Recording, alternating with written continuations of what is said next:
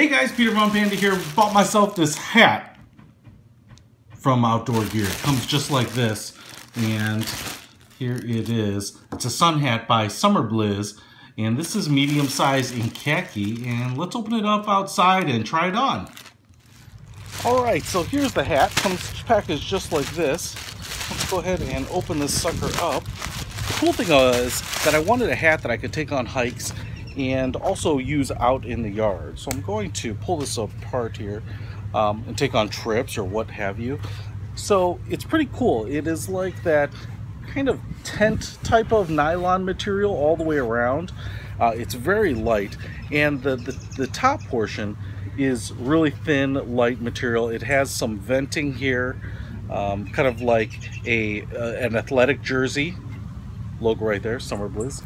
And on the inside, it has a lot of that mesh. So it's going to be nice and breathable. It's basically two pieces. There's the outer uh, weatherproof piece and then this inner mesh.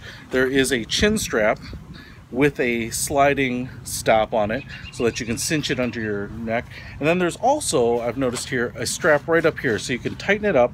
And it also has a um, a, a locking slide right here. So if you have a really small head, you could probably cinch it down on your head. Now I have a giant melon-sized head, but uh, we're to try it anyway. So I assume the tag goes in the back. It says hand wash, do not bleach. And we're to put it on there. And even though this is a medium, fits me, fits me pretty well. I'll show you here, kind of like the Australian safari. Pretty nice you know, other than getting a lot of shade here on my head, uh, it doesn't feel very heavy. I mean, it feels really light. And kind of throw it back here. If you don't want to wear it, uh, toss the strap in the back here if you don't need that. And then, like I said, if you wanted to, you could cinch this down. Whew. I don't know that I'm going to need to. So we'll just loosen that up.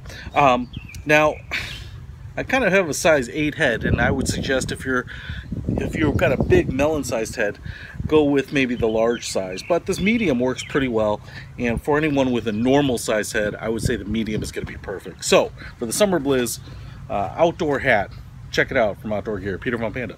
Out